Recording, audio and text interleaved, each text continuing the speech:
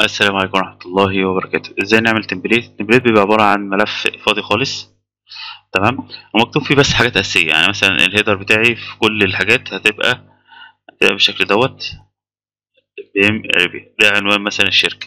وهتكتب ال- العنوان والرقم البريدي والتليفون ومثلا هنعمل مثلا كلمة dear كذا وبعد كده نبقى نشتمه براحتنا مفيش مشكلة تمام؟ وفي الآخر آه، تاريخ مثلا.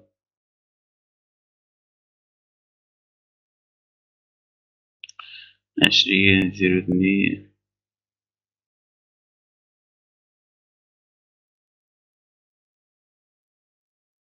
ده على سبيل المثال ده هيبقى ال template بتاعي. فأنا هجي من هنا من file وأقول له template وأقول له save as a template وأدي له أي اسم. بي BIM تمام ممكن أقول له خلي لي ده ال template الأساسي. طب أنت عايز تحطه تحت انهي category my template save تمام؟ طيب file ممكن في أي وقت تقول له template تقول له manage template وتعدل فيه زي ما أنت عايز. طيب لو أنا قفلت دوت file close عايز تسيبه هو بيسألك على الملف الأصلي مش الملف ال template فتقول له don't save تمام؟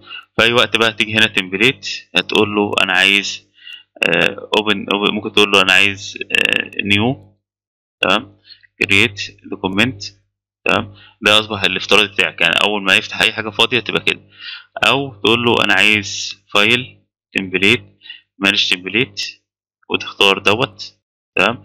ممكن تقول له move أو import أو يعني تقدر تتحكم فيه أو تدوس مرتين عليه يتفتح. يعني أنا ممكن أقول له هنا file template manage template وأروح قايل له مثلا أنا عايزك تفتح لي دوت. ده موجود اهو قدامي وتعدل فيه وتروح مسيفه ملف عندك على الجهاز بتاعك.